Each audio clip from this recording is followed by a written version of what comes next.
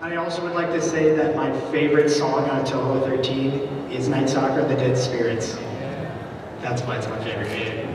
I would also like to say that my favorite shirts in the room right now are these shirts. Not because they have any particular characters on them. No, We will actually, we have uh, three of them we'll be giving away later. Yeah. yeah, but Yeah, but, yeah, we have three of them. So if after whatever, uh, we're gonna try to give them away.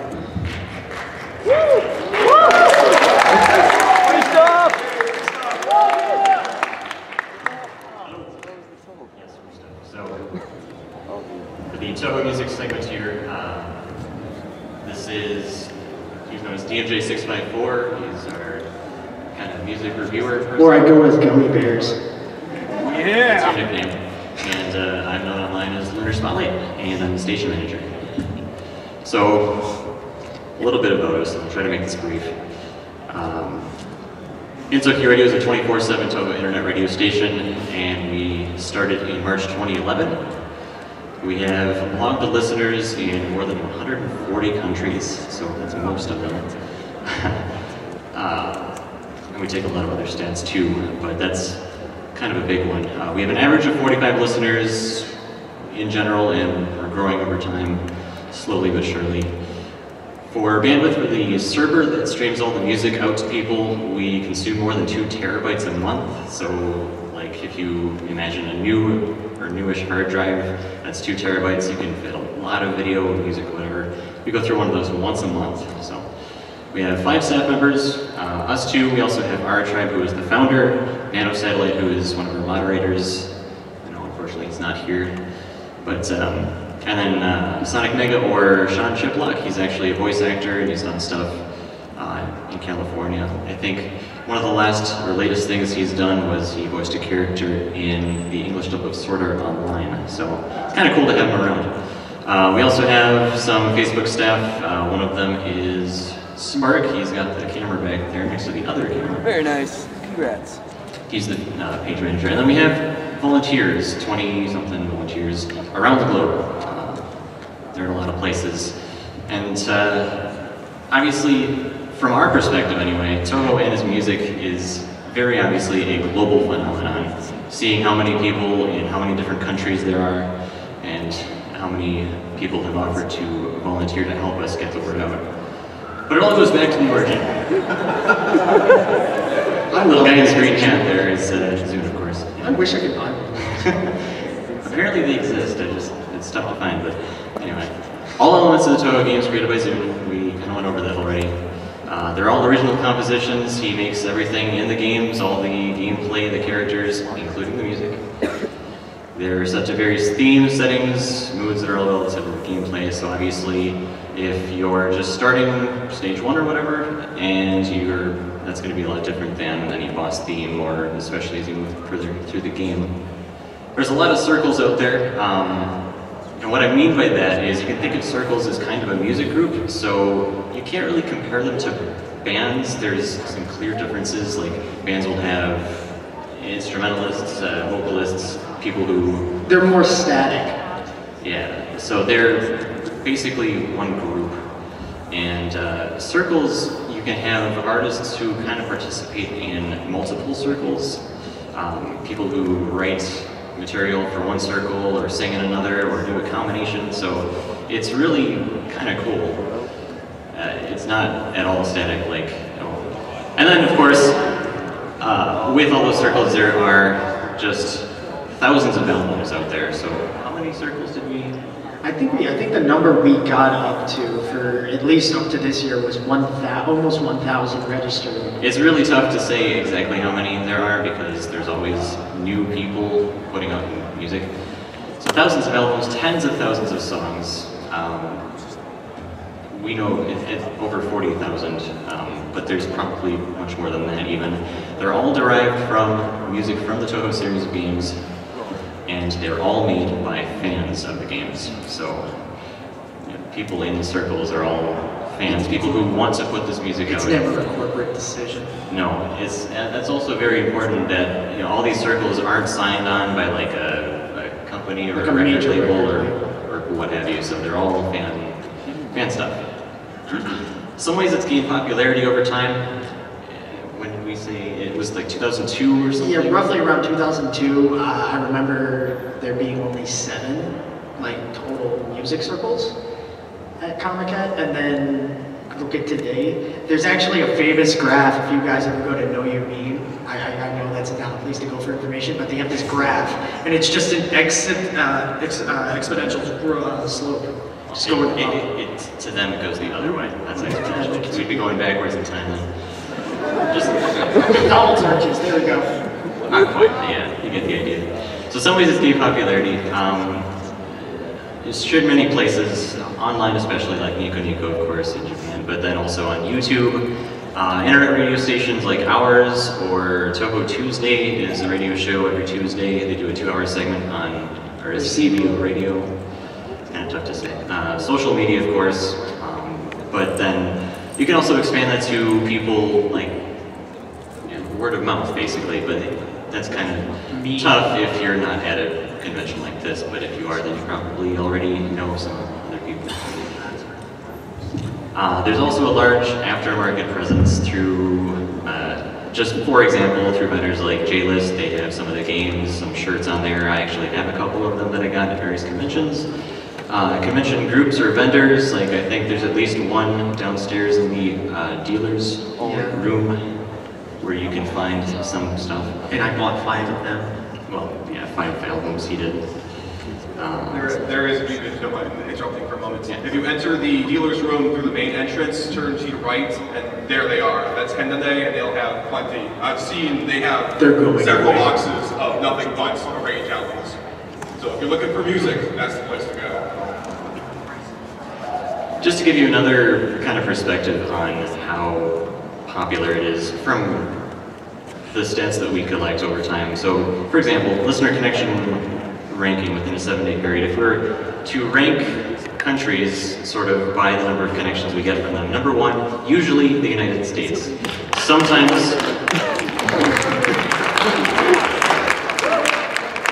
Sometimes it will flip-flop with Japan, not a big surprise though. Uh, Though isn't our number one city overall every I time think it's Tokyo? I think if you look at it by city, uh, Tokyo has a lot of connections, but collectively the United States has more. So uh, Russia's usually number three. Not really sure why, but uh, and then we can kind of go down the list. But usually you have people like or people, countries like Canada, Germany, Finland, Mexico, Peru, the United Kingdom, you know, what have you. They're all going to be a lot more Western. There is Singapore, China, South Korea in there too, but there's a lot of Western countries that kind of sit on top there.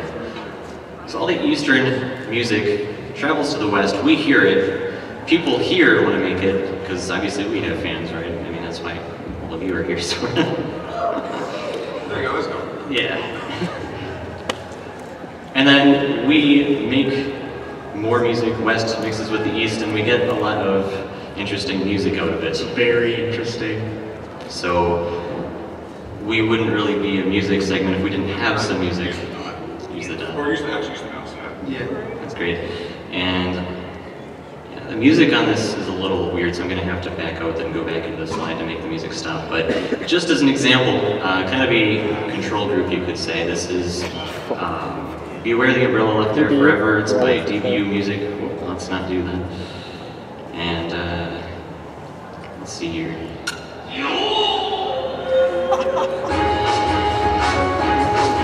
Already, it's, it sounds pretty distinctly Eastern, especially with that beginning. Jeez.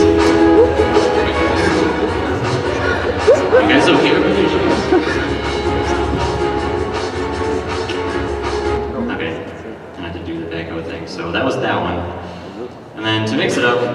Never ever think about putting that in combination with country, but it has happened and it's out there. So And what's funny is I'm from the South, and this is better than Taylor Swift. You found another country mix? Really new what? This is C. Clay's heartwarming, and I swear to God, this I listen to this when, like, if I have a bunch of friends who are sitting in the car.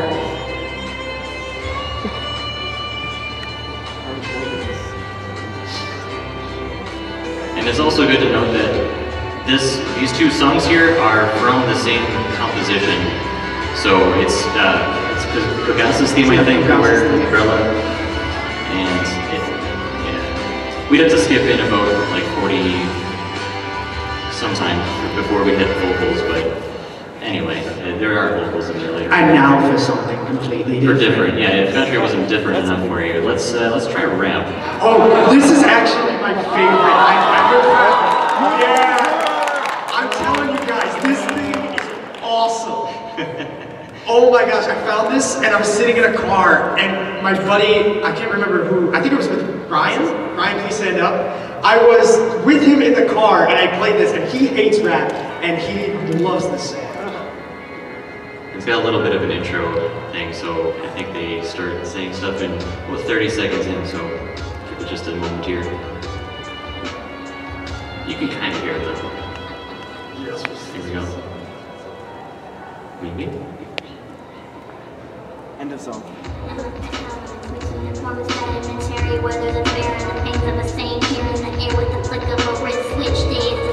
Yeah, it exists. It's right there. Total rap. I love it when the vocals come in.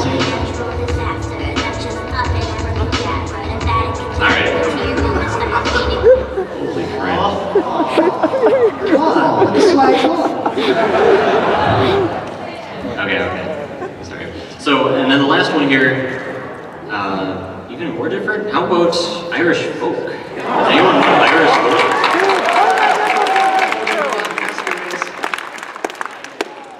Once again, another arrange from U.N. Owen Was Her. It's called Let's, Let's Dance in the Scarlet Devil Mansion from the Circle Floating Cloud. And what's interesting to note about this circle is that they try to use very authentic instruments when they're doing it. So this is about as Irish as you can get. There's a video on YouTube, I think, of them actually. Yeah, they actually so- they're all in masks, which is funny. Yeah. You can hear it right away.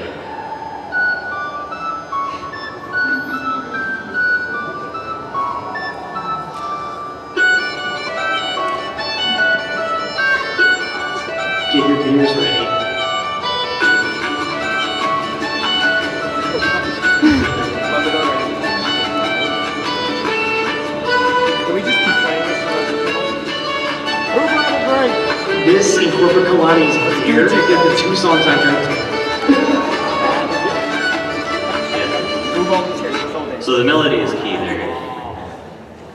Um, So to list some artists from the West, and when I say West, that also, you know, that's, that's Europe, North America, South America, so basically not Japan. Um, one here, we have Seismix, originally from Norway. He is actually a really cool dude. I've had an interview with him, and I've done. I've had his entire collection, and his music is very unique. For just, he has this very unique sound. That's just. Uh, ugh. That's the only word I can describe it. Just every time you hear. I'm, I'm calling. It could be a word. U H H H H H H. There you go. I spelled it out. Webster's put it in the dictionary. Kickstart that. So he's an arranger, he, he does, he arranges the songs. It's usually electronic dubstep. Denpa? I think that's how he. I think that's what it is. It's. I, he does a lot of house too. I'm not really sure what that is. Maybe you might know. Um, he started independently, but he also is beginning to work with some other circles of existence, like on the Trace Records. And actually, if you guys play Osu, uh, they had a contest with the song "Tear Rain" from their from that album, and I would highly recommend you picking up that number one. Thank you. uh, beat map. We also have, uh, this is a circle, we have music from Germany, someone, or a group that I discovered a couple of months ago, I think. Um, they do, again, kind of mostly electronic music, but they also branch out into other genres.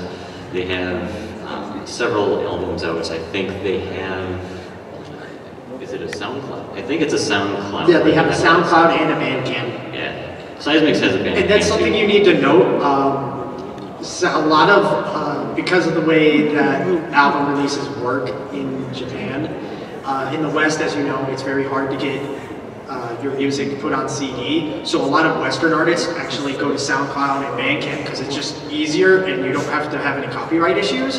Whereas when you go, uh, go to Japan, that's where you have to, you can go to Comic Con and get an actual CD. Uh, we've also got the artist Renko, uh, usually kind of part of Orange Jam. They're from the U.S. Uh, they're a vocal artists, they're a lyricist, which means they write some of the words in the songs. They also work with other circles such as East New Sound, Felt, Illusion Sonic, and I think it's worth noting that East New Sound is general, Generally, East, like generally Eastern, Eastern. right? But yet we have someone from the U.S. kind of collaborating with them. It's kind of similar to what Silence is doing with uh, Albatross Records. Uh, we also have Tim Vegas from the U.S. as well.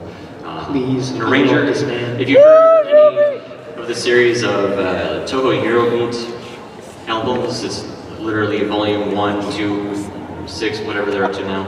Um, Infinity. I think He he's does a a- fan of A1. Oh, A1 NJ. Does a lot of stuff with those, so. I noticed there was one Eurobeat fan in the room, and I knew exactly what it was going to be. Okay, so we have one. I don't know.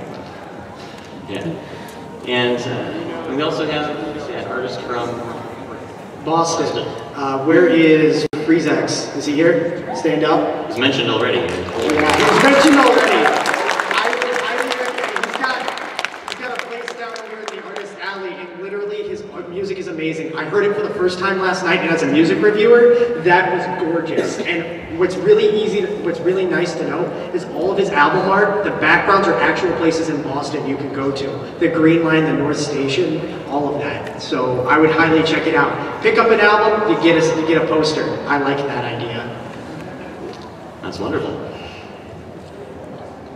All right. So with him, there's there's a couple other artists we know of too that are kind of getting it out there, starting up their own music arrangements and things. And um, I would like to have like a quote from Sesmix when I interviewed him. He, I asked him, uh, "What do you feel? Uh, what do you want to say to people interested in getting into doing Touhou music?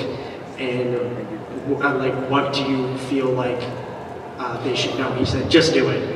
I mean, there's literally nothing to it. I mean, look at him. He's he works at a movie theater. He's younger than me, and he's making money at a movie theater.